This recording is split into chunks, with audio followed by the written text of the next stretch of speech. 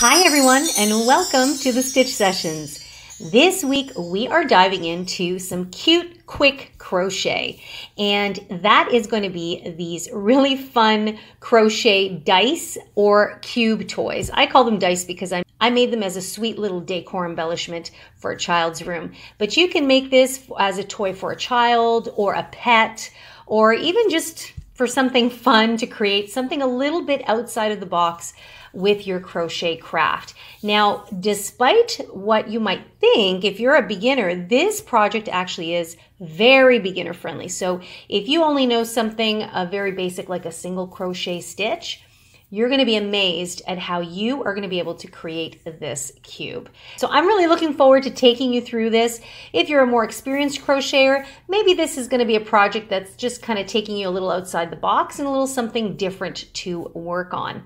Now, if you haven't subscribed already, make sure that you guys do so. I upload a new tutorial every Wednesday, and this way you'll stay up to date every time I do that. And of course, I always enjoy having you guys come along on my crochet journey. So make sure you do that. And also check out our website, which is crochetcrafty.com. We've got all kinds of neat uh, activities going on, like in person classes, interactive online classes, and uh, much more. Now, in the meantime, let's get cooking. Let's get started on creating our crochet cubes. Okay, everyone. So in order to make your dice, so I've got this first one already made. And um, it's got a little tail here because I'm going to use that to attach it to the other. So as you can see, I've just used a bunch of um, leftover scrap cotton yarn that I had lying around.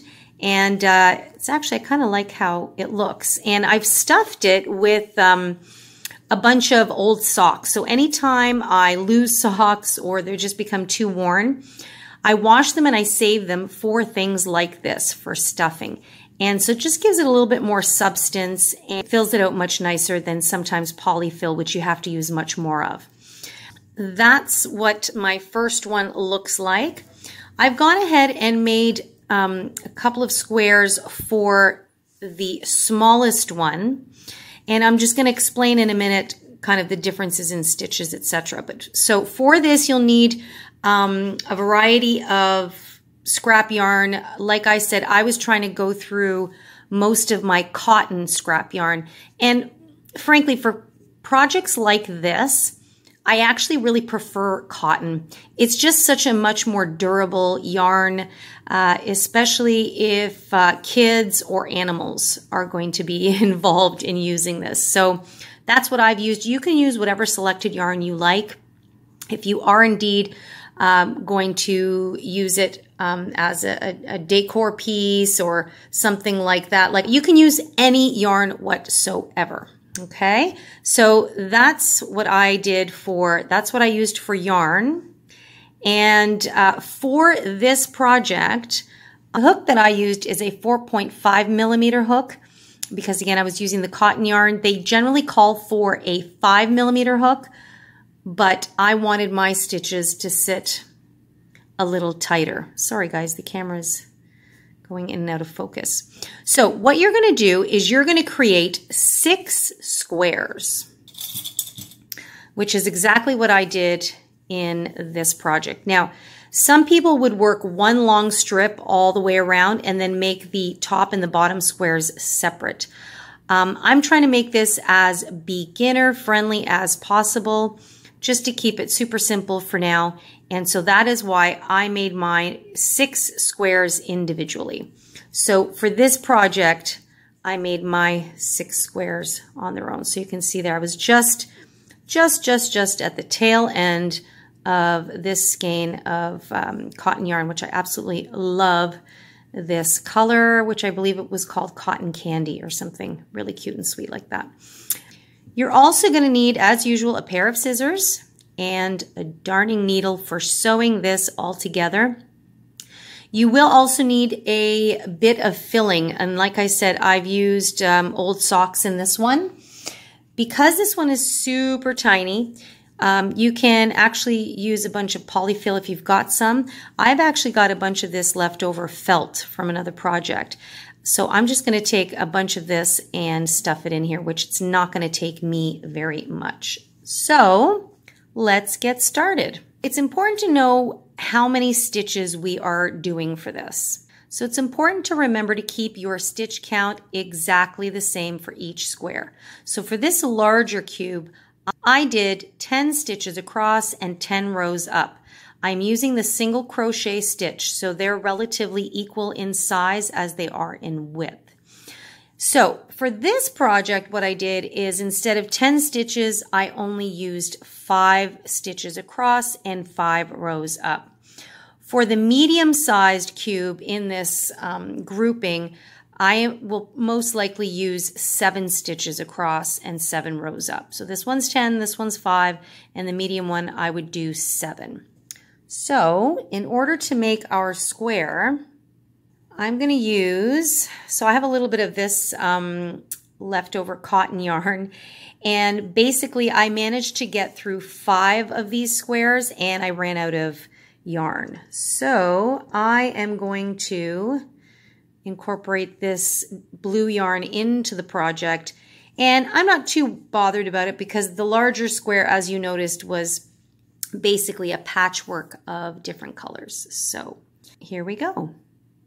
So you're going to begin with a slip knot. And I'm just trying to start.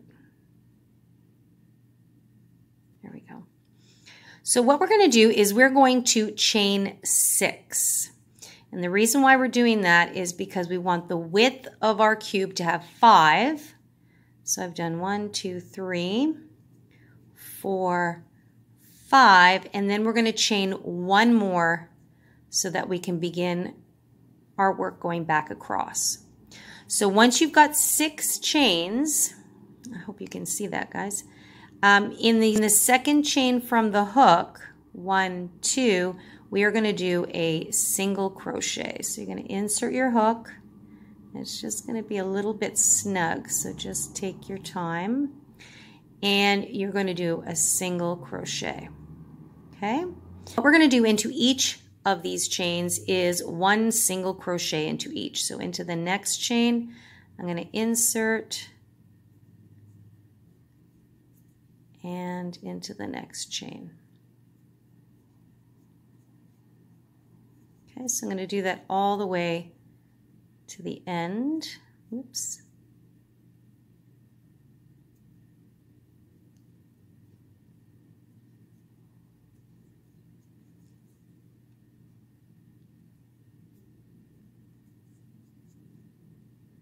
Okay, so you have something that looks like that.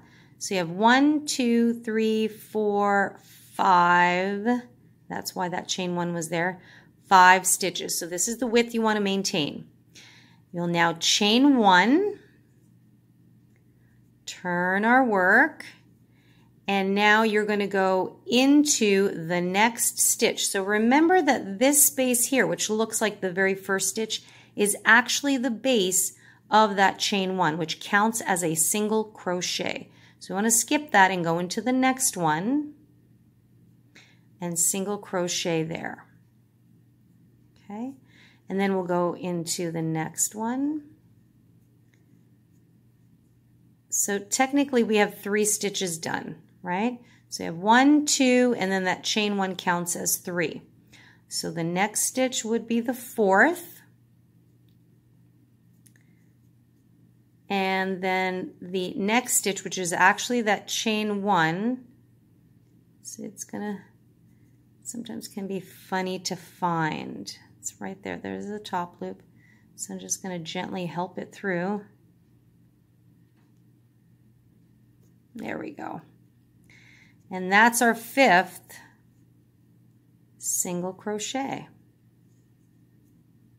Okay, so you can see it's starting to take shape.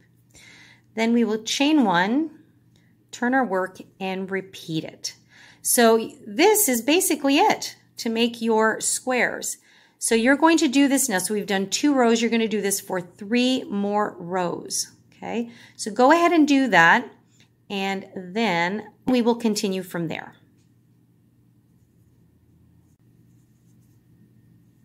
Okay guys, so there we go. We finished our square. So we have five stitches across and five rows up. Okay, so now we're going to put our cube together. So, sorry, after you've made this one, you need to make five more of these. So just keep that in mind. I've gone ahead and already done my five. So because this one is a bit of an odd man out, I'm going to leave this as one of the squares that I put on the top or bottom. So I'm going to set that aside for now.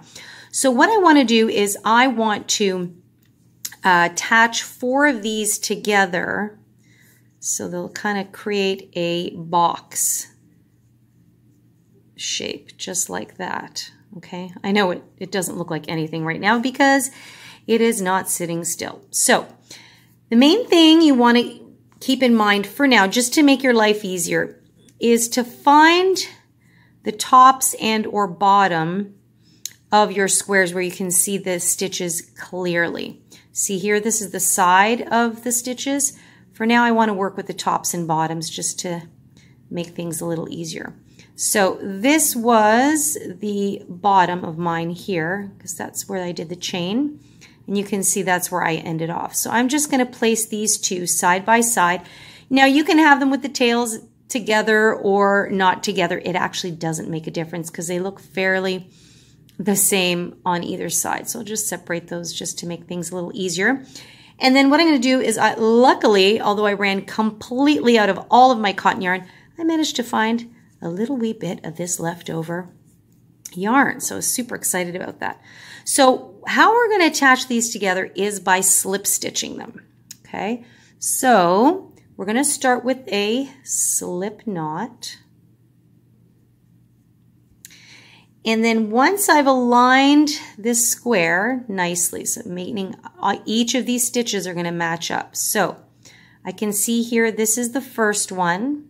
So I'm just going to go ahead and insert my hook there. And I want to make sure this is a knot. So that is not, this knot is not a stitch. So one, two, three, four, and five. See that? That was the chain one. This would be really easy to miss. So you have to really make sure, start from the side where you can see the stitches clearly and count your way back.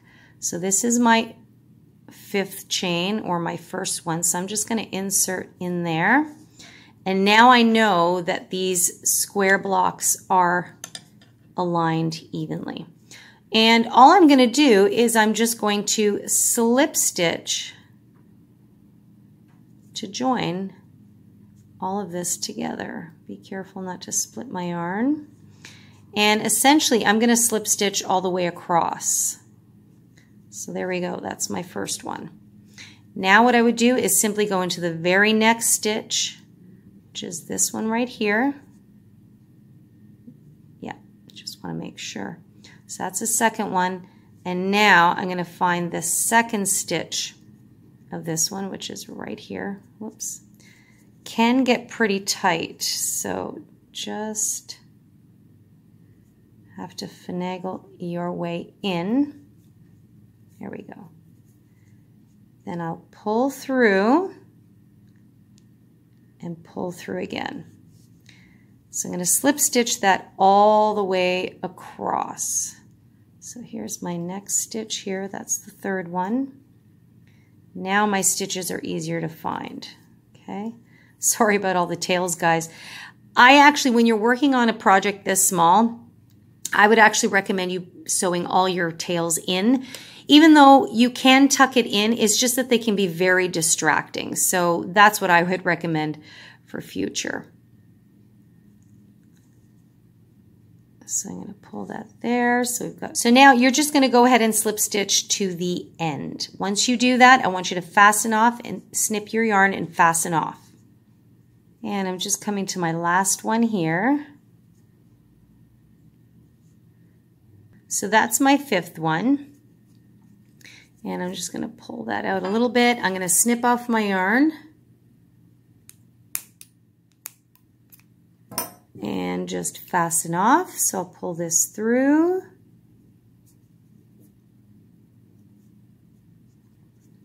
Just like that. So now you can really see, just pull that out of the way. Now you can really see the effect that slip stitching this gives you. I purposely wanted each corner to stand out.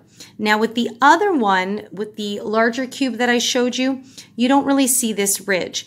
And the technique I used is that I kept the ridge on the inside. And now, so it gives you a bit of a smoother look. For the smaller ones, because they are so small, I actually would like the corners to be much more pronounced. So when you slip stitch, it will look like this on one side where you can see the stitches. And on the other side, you'll just see where the yarn uh, goes in. And in fact, this one blends right in because it's a variegated yarn. But when you open it up like that, see, it creates this really cool ridge. You are going to do these this technique for four of your squares. So then I would take the next one and I would attach it here. Okay, so see, now you can already see how it's going to start to shape into a square. Then I would take my fourth one and attach it here. So essentially what we're doing first is we are sealing off all four sides. Now, like I said, I think I'm going to, before I continue on, I'm going to go ahead and weave my ends in just to get them out of my way and um, to keep things a little bit easier to see. So I will come back with another side and once I've weaved in all my ends and then we'll do the top, stuff it in the bottom and you are good to go. And here we have it. So I've now slip stitched all four sides together. So your cube is looking something like this. I've got most of my short tails on the inside there. So you can see each corner has created a little ridge. Okay. Okay guys, so since this is a much smaller cube than the first one I made, it's pretty tight. The sides of the stitches are tight, the stitches themselves are tight. So now that I've managed to slip stitch the edges, the corners here, which I like, I am going to whip stitch the top and the bottom. It just makes life a little easier. So I've got this piece here that just had a little bit of tail left over here. So what I'm going to do is I'm just going to feed it through to lock it in place. And I'm going to feed a, the end here through a darning needle. And we will sew up the top part of our box. There we go. So You just place it on top like a lid and find any corner to start. Make sure that any tails that you have left there get pushed to the inside. And I am going to sew this with the right sides facing out just because it is so small. So now what I want to do is I want to just pick up a loop somewhere in the corner there of the box, right there, and pull through so that I can secure my top there. There we go. So now it's kind of sitting nicely in line with my sides. Okay. Sorry guys, I realized this, I should have shown you how I did the bigger one. The smaller one can just be a little bit testy. Okay, so now you're just going to proceed to find a loop as best you can and feed it through and then pick up another one in the front edge. Then you're going to pull it through. Okay, and then just pull it snug, but not too tight. You don't want your, um, your work to start to buckle. Then I'll go ahead again and I'll try and pick up a loop back here and find another one fairly close in the front there and pu push through and feed it through. Okay. So I'm going to do that again. So I'm just going to find that little loop there. I'm going to match it up with this one here. Okay. There we go. So you can see it coming through. And then I'm just going to feed it through. Whoops. And just snugly pull it. Okay, so this is what basically it. This is what you're going to do all the way around. Just find a little loop. It can be a little tricky.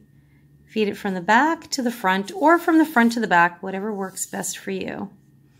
And you're going to do this all the way around until the top part is sealed in. So there you can see my tails sneaking out.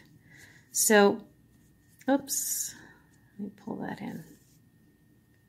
Okay, so essentially this will sit here and create the bottom part of our little cube. So go ahead and do that. I will meet you once you've sealed up the end and we'll talk about the stuffing and how to do the top. Okay, so our little cube is now coming together. Okay, so I've just come up to the end and what I'm going to do, I'm just going to feed this towards the inside. And then just maybe see how tight this is. Just maybe do a couple back and forth just to create a bit of a knot. And then we are ready to go.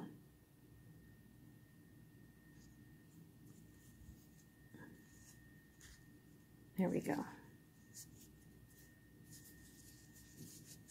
Okay, super cute. I'm loving it. So I'm just going to snip my yarn here. Some of my ends tucked in there. So you can stuff this with anything. I like to save old socks and t-shirts and things like that. And in fact, I have this teeny tiny little bit of this lilac-y polyester yarn that I Cannot think of one single thing I'm going to use this for except for inserting perfectly in there. So that's what I'm going to use to stuff my cube. And now the last block, which is right here, the last of my cotton scrap yarn was right here. And this is the block that I'm going to place on top. Now, I just made it, so it's actually not exactly the same size as the others. So most likely I may just keep that on the bottom or what have you. But um, it just fits perfectly enough that I can certainly whip stitch this together. So I'm going to do exactly the same thing I did on the bottom. I'm going to do that on the top. Um, I am going to continue to use my white yarn and I'm going to do the same thing here. So I'm just going to place it on top. I'm going to try my best to, sorry guys, sometimes I forget myself. Make sure that all my ends are tucked in, just like that. Okay. And then I'm going to do the same thing. So I'm just going to find a loop and then just come up through the corresponding loop. It could be an actual stitch or it could be the side of a stitch. Whoops. There you go. I got all excited. Doesn't really matter as long as you get it. So I'm just going to tie this.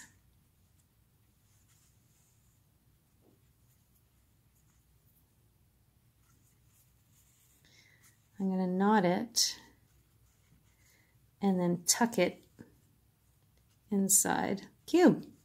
Oops. Okay.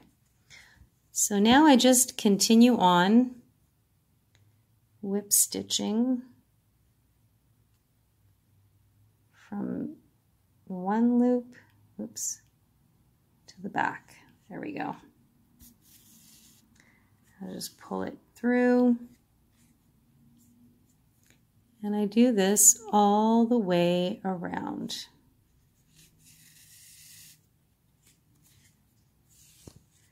And once you get all four corners done, or all four sides, your little cube is finito.